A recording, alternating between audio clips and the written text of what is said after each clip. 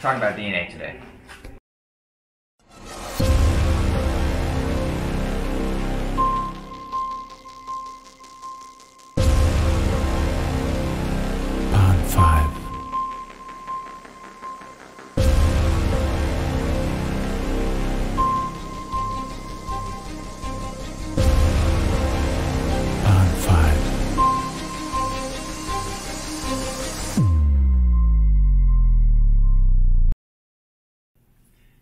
For tonight's show, we'll be hearing from Professor John as he tells us a brief history about DNA. Hello, everyone. Thanks for having me. Sir, you can't wear the goggles in here. They told me I could wear the goggles. It's my thing. Okay? That could be dangerous. So, what exactly is DNA?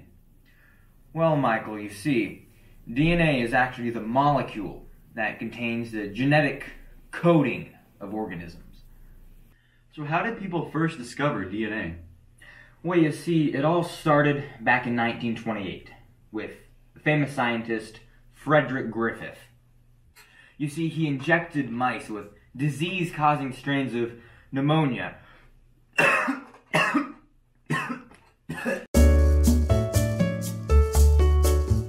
Through this, scientists learned that genetic information could be passed on from one bacterium to another through a process called transformation.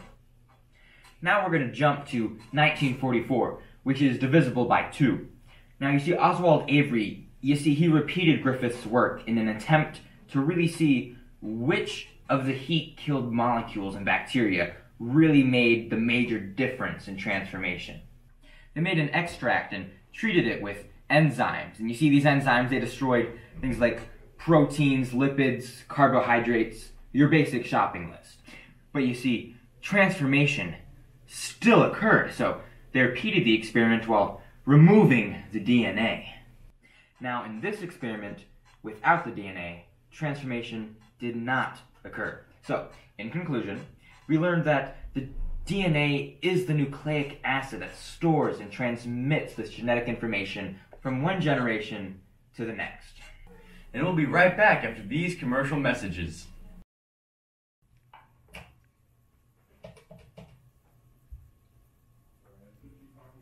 Not feeling like working? Does your stepson have a soccer game today? Well, you can kiss those fake coughs goodbye. Introducing the all new pneumonia in a bottle. Symptoms may include, but are not limited to, fever, chills, dehydration, fatigue, loss of appetite, clammy skin, sweating, fast breathing, shallow breathing, shortness of breath, wheezing, coughing, and or fast heart rate. Oh, and death. Drink it!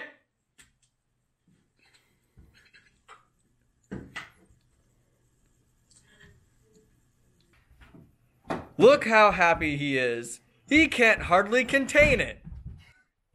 Just call this number on your screen for toll free information. And call now for a complimentary bottle of Stroke on the Go. Yeah, can we get a cleanup on stage three? And welcome back to the show. How did you change so fast? Now, in 1952, Alfred Hershey and Martha Chase did experiments to try and confirm these findings. You see, they deduced that if they could know whether the protein coat or the DNA core of bacteriophages entered cells, they could know if genes were made of DNA or protein. Wait, you didn't know what a bacteriophage is? well, it's pretty cool. Let me tell you. You see, a bacteriophage kind of looks like this. You see, it's a type of virus that finds and destroys bacteria, like a little bacteria-seeking missile. He also has a smiley face. Sir, no goggles. We, we told you this. They grew viruses and cultures containing radioactive isotopes of phosphorus 32 and sulfur 35. Since proteins contain almost no phosphorus and DNA contains no sulfur, the radioactive substances could be used as markers. Now, if sulfur 35 was found in the bacteria, it would mean that the virus's protein had been injected into it. Now, instead, if phosphorus 32 was found, then it was the DNA that had been injected. So, in conclusion, they found that the genetic material of the bacteriophage was DNA, not protein.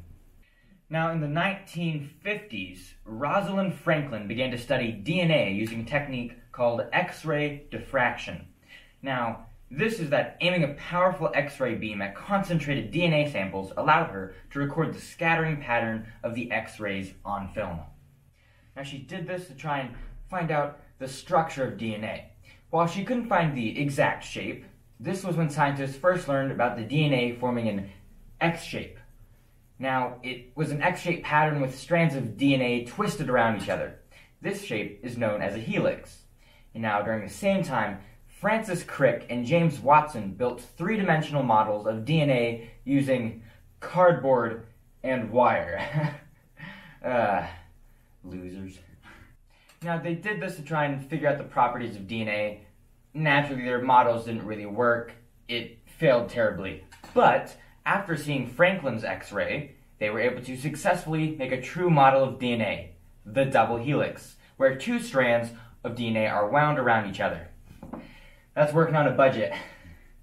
I like this show. Pleasure to mention that. Now, also, Erwin Chargaff discovered that the percentages of guanine and cytosine bases are almost equal in any sample of DNA. The same thing was true for the other two nucleotides, adenine and thymine. The observation that A equals T and G equals C became known as Chargaff's rules.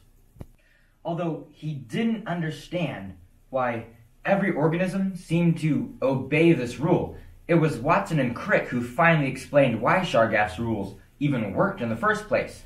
You see, they found that hydrogen bonds formed between certain base pairs, adenine and thymine, and guanine and cytosine.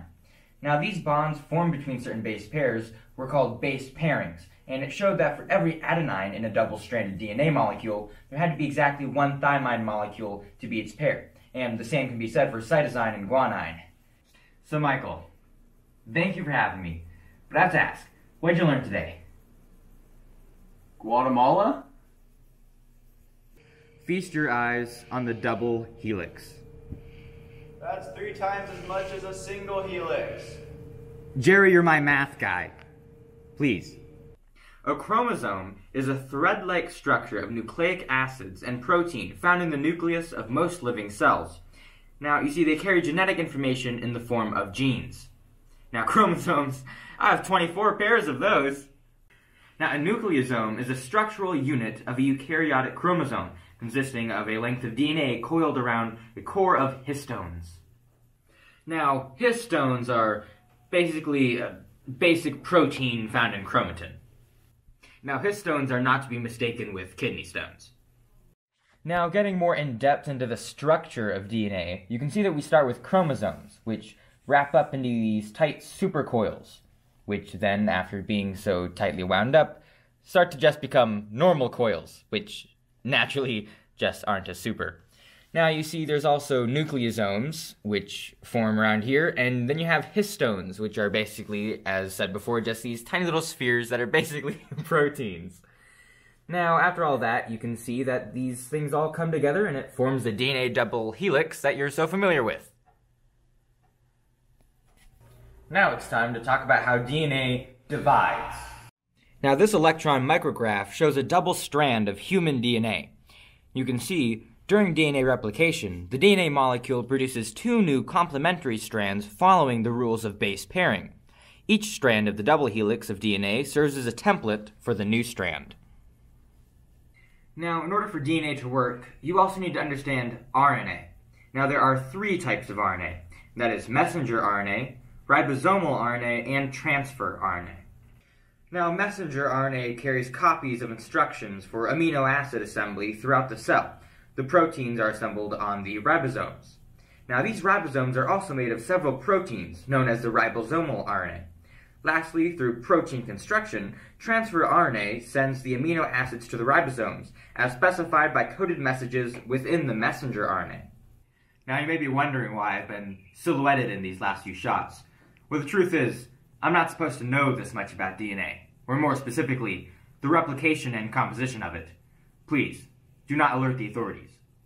Now, there are a couple other topics that I do feel a little bit obligated to at least touch on, and that's transcription and translation. Now, you see, during transcription, RNA polymerase binds to DNA and separates the DNA strands. Then our RNA polymerase then uses one strand of DNA as a template from which nucleotides are assembled into a strand of RNA. Now, the other being translation. And during translation, the cell uses information from messenger RNA to produce proteins. Now, these are pretty complicated processes, and we could probably have another three minutes worth of video on it, but this is already getting kind of lengthy, so let's just move on. But if you are interested in this topic, leave a comment and maybe we'll consider making more material on it, or just do some research yourself. We can't do everything for you, so please, do your own work. Now we're going to talk about genetic mutation. Hugh, we talked about this. Sorry. Mutations are changes in the DNA sequence that affect genetic information. Now, gene mutations result from the changes in a single gene. Chromosomal mutations involve changes in whole chromosomes. Mutations that affect one nucleotide are called point mutations because they occur at a single point in the DNA sequence. Some point mutations simply substitute one nucleotide for another, and often result in the change of one of the amino acids in a protein. However, there are point mutations that involve the insertion or deletion of a whole nucleotide. Because genetic code is read in groups of three called codons, if a nucleotide is added or taken away, it shifts the grouping of every codon. This is known as a frame shift mutation. Aside from the gene mutations, there are then the chromosomal mutations. These mutations change the location of genes, or even the number of copies of some genes. There is deletion, the loss of all or a part of a chromosome, duplication, a segment is repeated, or inversion, orientated in the reverse of the usual direction. Then there's also another one called translocation, where part of one chromosome breaks off and attaches to another non homologous chromosome. Most translocations occur in pairs. This program has been brought to you by Pneumonia in a Bottle, and by Stroke on the Go, and by contributions to your local PBS station, and by viewers like you. Thank you.